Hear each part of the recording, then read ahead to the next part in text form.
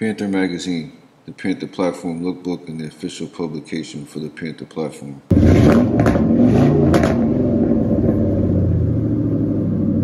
What's up, YouTube? It's Derek from Panther Magazine, and thanks for checking out the channel. So I'm back in the Merc. Um, I'm just gonna show you guys, just in case there's people out there that don't know how to do it. It's pretty simple, um, replacing the dome light. Um, I'm actually gonna replace the whole dome light console. Um, so yeah this that's what this video is about. And uh it should be pretty short. It's pretty simple. Um so let's get into it.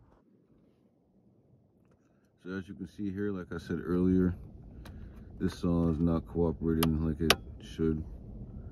Um so i did put the new bulbs in here. It did work but i think i'm just gonna have to replace it because this is kind of faulty. I think the fuse in here and i think the fuse here is done as well. Um I kind of learned how to take this whole piece off at the junkyard today. So I got my screwdriver here. And there's one, sorry about that. There's one, two, three screws here that you have to take out. Just gonna take those out.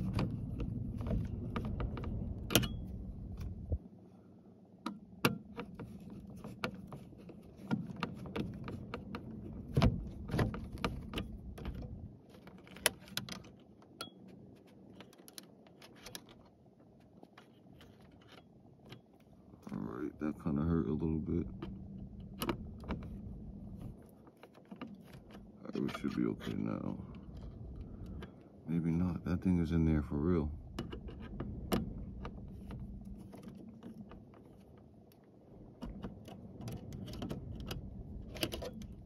Here we go. And we're just gonna take the other two out and I'll get back on the video once those once those two bolts are out. So I got the two screws out. Well, the other one, I took the first one out. With you guys, I'm going to show you once you take this last screw out. I don't think there's a specific order. This thing just falls off. So as you can see, the last screw made this thing fall. Made the dome piece, um, the whole console fell and it's only connected by this here. So once you disconnect this piece, um, I did it pretty easy at the junkyard. This one seems a little bit more difficult to take out. Ah, that kind of hurt. But um, there we go. It's off. So I do have another one. So I have the new one here. Unfortunately, it's gray. You can see this is like tan brown. Uh, doesn't really match the rest of the car, but this is what I'm gonna put up here and hopefully it works the way I need it to. So here we are, put this uh, connector back on here. Like that, I think, I think it's on there pretty good. and um, yeah you just want to put this back on here um, I'm not sure this is kind of tricky we go so I think we're just gonna uh, screw this back on and hopefully it works um, there we go yeah, hopefully it works and screw this back in, put the bulbs in, and we're gonna see if it turns on or not. So I already have one screw in there. We're gonna put one more.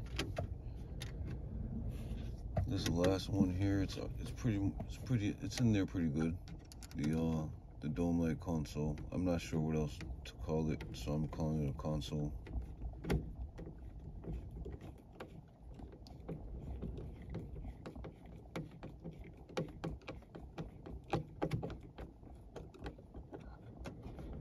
we go.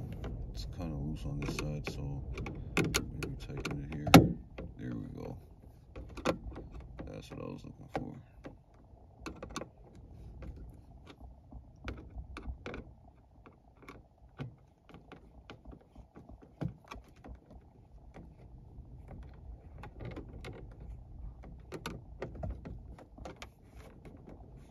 There we go. as you can see here, I have my bulbs and my new dome cover.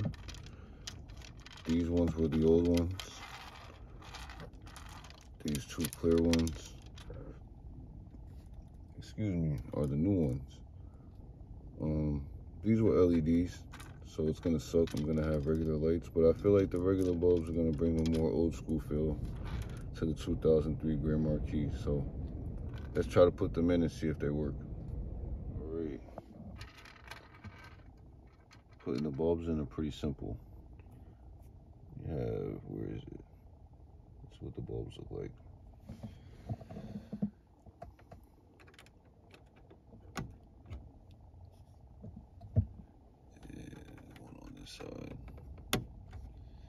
All right, the moment of truth. So pretty much the bulbs won't, they're not turned on, man.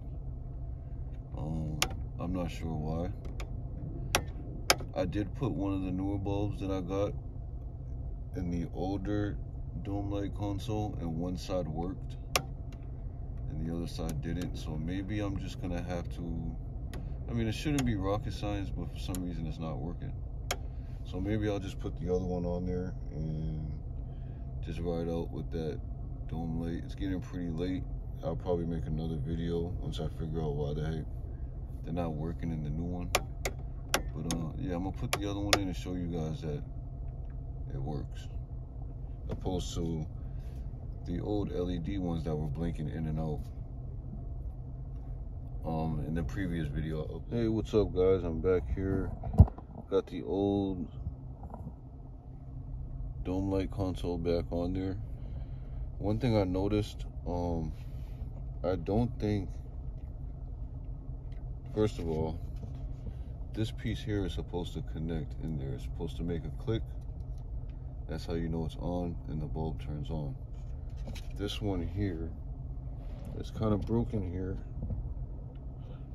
And I think this this came from an older Grand Marquis. This didn't come from a 2003. So maybe, maybe even just the dome lights have to be specific within the um, the age range of the car. So I may have to go on eBay and find me a 2003 specifically dome light cover and console.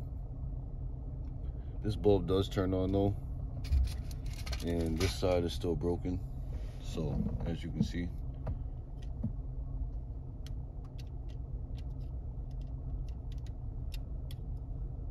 yeah, it's kind of annoying. That was the whole purpose of finding a new one, so this could just like work. But it works. And this one's broken, so it is what it is. I'm just gonna have to find a 2003 Dome Light console off eBay or something that shouldn't be too expensive. I mean, it cost me five dollars at the junkyard this morning. So, um, but that's pretty much how you would swap this out if you ever wanted to. Um, there's three screws here you have to take out. This will pretty much fall out and hang from the connector. You're gonna take this connector out. Um, grab your new console, put it up here, connect it, put your bulbs in and it should work. And that's about it. So, um, yeah, thanks for checking out the video. And I'll let you guys know when I get a new dome cover. And uh, I'll catch you guys on the next video.